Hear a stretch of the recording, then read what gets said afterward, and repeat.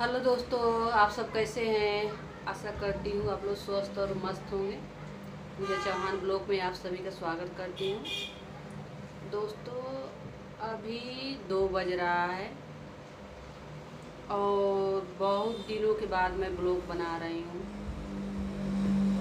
दोस्तों, क्या करूँ? आप लोग से आज बात करने का मन कर रहा था, इसलिए आज ब्लॉग बना रही हूँ। इस आपको बताई हूँ कि ये मोबाइल जो मेरी मतलब सही नहीं चलती है, ख़राब हो गई है, पाँच छः बार बन चुकी है, इसके लिए ना इसका कैमरा सही आता है, ना ही आवाज़ सही आती है।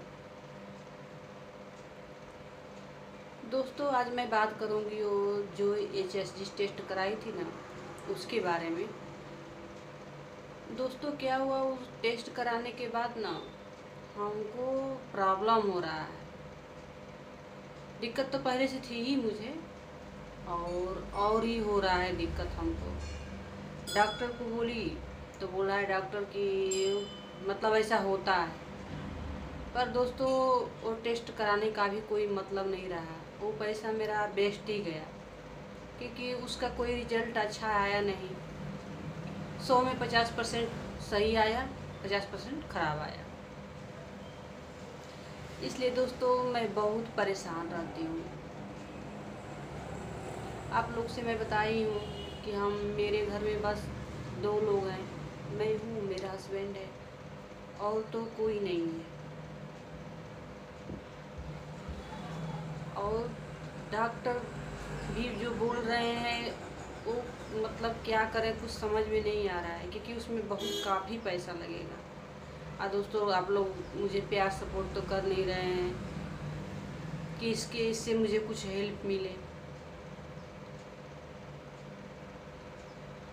मेरे पति क्या क्या करेंगे अकेले? दोस्तों, होता है ना, जिससे मतलब कि कंडीशन जैसी होती है, वैसे डॉक्टर बोलते हैं टेस्ट कराने के लिए। तो हमको भी बोला डॉक्टर कि मतलब कि कराओ ये टेस्ट मैं कराई। बहुत लोगों का सक्सेस हो जाता है ये टेस्ट के बाद। लेकिन मेरा तो कुछ उल्टा ही हो गया, क्योंकि हमको मतलब कमर उमर में ना बहुत अजीब तरह का पेन हो रहा है। उसके उसके वजह से कहाँ ले कुछ अच्छा होगा और मतलब काफ़ी हद तक बुरा ही हो गया है मेरे से लेकिन जो बहनें कराई हैं, उनसे मैं पूछना चाहती हूँ मतलब क्या ये टेस्ट के बाद ऐसा होता है क्या आप लोग के साथ भी हुआ है? क्योंकि काफ़ी मतलब कि चालीस दिन में दो बार। हाँ चालीस दिन में दो बार हो गया। जो पहले ऐसे कभी था नहीं। इसलिए दोस्तों, बहुत परेशान रहती हूँ देखिए, सर दर्द की वजह से भी दवा खा रही हूँ। ये जो चोट लगी है, सर दर्द, सर में ना, वो तो ठीक हुआ नहीं। देखिए आँख कैसी हुई एकदम हमेशा एकदम, सर दर्द की वजह से मेरी आँख एकदम हमेशा खुली रहती है ये हमेशा चिन्ह बना रहता है मेरे आँख पे।